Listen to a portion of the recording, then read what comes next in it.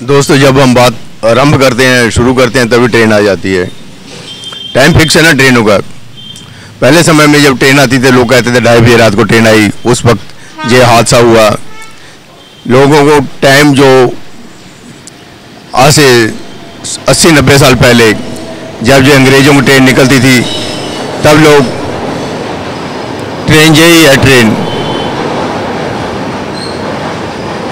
इसी से लोग अंदाज़ा लगा लेते ये रात को तीन बजे वाली ट्रेन आई थी, दो बजे वाली ट्रेन आई थी। पहले जब टाइम का जो अंदाज़ा था, इन्हीं ट्रेनों के आने जाने से लगता था। वक्त बदला वक्त के साथ सब कुछ बदल गया।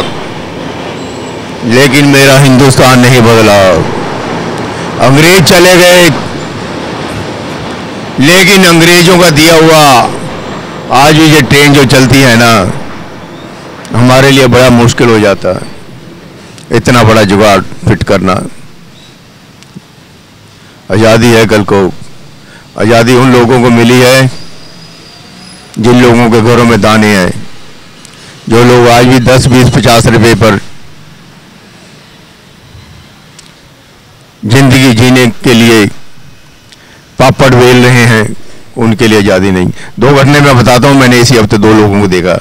एक महिला को देखा जहाँ पर वो ग्रोसरी वगैरह लेती थी, दूध वगैरह लेती थी, वो जो सर्वेंट था जो दुकान पर मालिक तो बैठता नहीं तो उसको कहती थी, बीस रुपये मेरे को रोज तो दे दिया कर, जब मैं कोई राशन लेने के लिए आऊँ आपसे या कोई दूध कुछ भी लेने के लिए आऊँ। तो वो लड़का कहता, नहीं, मैं तो आप काम करता हूँ, मेरे को बाबूजी क्या कहेंगे तुम्हारा घर वाला मेरे को बार बार पूछता है। कहती है, तेरे बीस रुपये रखने से मेरे छः सौ रुपये महीना बन जाएँगे, मेरा गुजारा हो जाएगा। मेरा जो घर वाला है, मेरे को कुछ नहीं देता। कहती, ठीक है, मेरा घर वाला दारू नहीं पीता, शराब नहीं पीता, मेरे कुछ नहीं कहता, लेकिन पैसे नहीं देता। उसके पास पैसे इतने होते हैं, यानी कि आज बीस बीस रुपये के लिए जो महिलाएँ मेहनतें करती हैं कि मुझे बीस रुपये डेली की बचत हो जाए, ये आज़ादी मिली है। एक मैंने और देखा, फाइनेंसर के पास बैठा था, मुझे जो लोगों को लोन देता है छोटे छोटे लोन देता है, डेली बेस पर देता है। आपने सौ रुपये हमको देने या पचास रुपये देने हैं, जो लोन देता है। तो उससे एक औरत ने लिया वो, हम भी वहाँ बैठे थे उसके पास। क्योंकि मैं जहाँ बैठा होता हूँ तो वहाँ पर कोई ना कोई देखते रहता हूँ।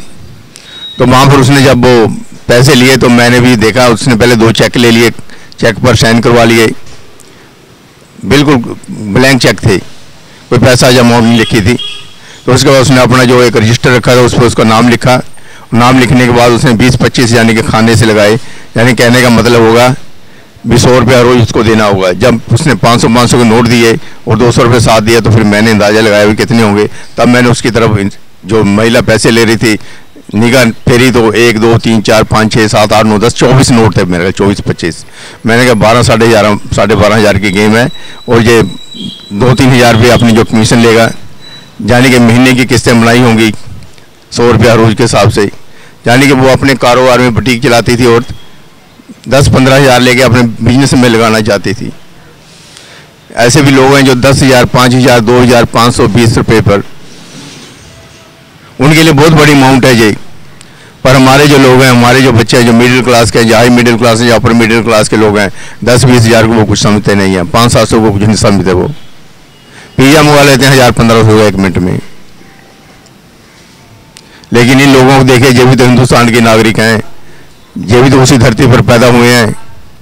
इनके लिए कौन सोचेगा? पंद्रह अगस्त है, आज़ादी मिली, मैं सोचता हूँ इनको क्या आज़ादी मिली जो दो दो रुपये के लिए अभी भी भटकते फिर रहे हैं। अभी भी मिन्नतें करते हैं लोगों की, हमें ये दे दो, हमें हमारी मदद कर दो, कोई नहीं। जो अच्छा इंसान होगा गली मोहल्ले में, जो अच्छा हमारे जैसे लोग हैं, वो कभी मांगेगा नहीं। भूखे सो जाएँगे वो लोग, लेकिन वो हम ही लोगों के पास काम करते हैं, हमारी फैक्ट्री में काम करते हैं, लेकिन हमारे लाला लोग कभी नहीं सोचते क्योंकि वो बिज़नेस देखते हैं। कहते हैं, हमने बिज़नेस में इनकी मदद कर दी, जब हम ऐसे माल लुटाने लगे ना, इन लोगों को देने लगे तो हमारी कोठियाँ कहाँ से बनेंगी, हमारी कारें कहाँ से आएँगी, हम विदेशों में कैसे घूमने जाएँगे? वो पैसा जमा ही करते रहते हैं। यहाँ लुधियाना शहर में दस, बीस, पचास किलो सोना रखने वाले बहुत सारे लोग होंगे। बड़ा पैसा रखा हुआ लोगों ने, सिर्फ़ जमा करते हैं वो। एक तरफ़ इतना इतना पैसा रख के वो जमा कर रहे हैं, खाते गए हैं दोपहर को। भाई फ्रूट जो हम लोग खाते हैं भाई दूध वाली जो बनी हुई चीज़ें हम खाते हैं, कितनी बड़ी महँगी दारू पी लेंगे वो। खाना पीने तो भैया उतना ही है। लेकिन जो लोगों की मजबूरी है, जोमेटो वाले क्या कमाते हैं? जितने लोग घूमते हैं, जो बच्चे सड़कों पर घूमते हैं, नौजवान सड़कों पर घूमते हैं, बारह, पंद्रह हज़ार, दस, बारह हज़ार से ज़्यादा नहीं बनते। जितने भी आजकल आप देख रहे हैं, कोई जब कोरियर वाला काम कर रहा है, कोई अमेजन से कोई चीज़ें मंगवा रहे हैं, हम लोग मोटरसाइकिल पर भागे भागे फिर रहे हैं। अभी एक मेरा वो बच्ची ने कोरियर मंगवाया तो तीन सौ पैंतालीस सौ रुपये पाँच रुपये मेरे को देने लगा, वो वापस मैंने कहा, रख ले यार, तुम दो दो सिक्के निकाल के मेरे को दे रहा है। जहाँ तीन सौ पैंतालीस गए, वहाँ पाँच और जाएँगे। डेढ़ सौ लेके मैं इधर आ गया। बच्चे भी आजकल वैसे देखते हैं, अमेजन पर वैसी चीज़ें मंगवा रहे हैं, फटाफट फटाफट फटाफट। पता नहीं क्या क्या मंगवा के फेंक रहे हैं। वहाँ देखने में तो बहुत अच्छी लगती हैं। एडवर्टाइजमेंट करने का ढंग उनका होता है ना मार्केटिंग करने का ढंग बहुत अच्छा है। जब तक आप मार्केटिंग करेंगे तो आप पैसा नहीं कमा सकते। तो मार्केटिंग करके हम ही एक दूसरे को उल्लू बना रहे हैं, बेवकूफ़ बना रहे हैं, एक दूसरे को लूट रहे हैं। यार, बच्चों को कुछ पढ़ाओ, बच्चों को सिखाओ। ये जो न्यू जनरेशन है, ये भी भेड़ चढ़ जाएगी हमारी, ये बेईमानी के। पचहत्तर साल हो गए, हमारे अभी तक एक भी जनरेशन ऐसी नहीं आई जो देश को संभाल सके। ये ट्वेल्व पास करने के बाद कितने देखिए, ट्वेल्व पास कर करके बीए कर करके, कितने लोग, पाँच चार पीढ़ियाँ निकल गई हैं।